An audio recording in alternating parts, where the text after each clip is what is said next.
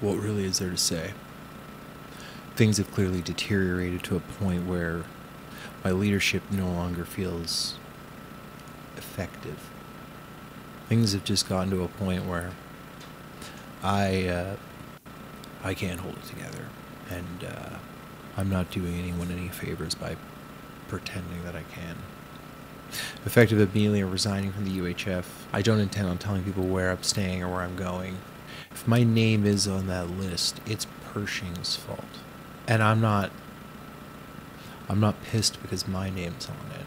I'm furious because of the other people's names that are on it. And no one seems to get that. No one seems to want to hold him accountable. I want to make it extremely clear that all of my actions going forward have no affiliation, connection to the UHF in any way, shape, or form. Everything I'm about to do is by my own volition. I take full responsibility for what's about to happen. This is uh, Dr. Greg.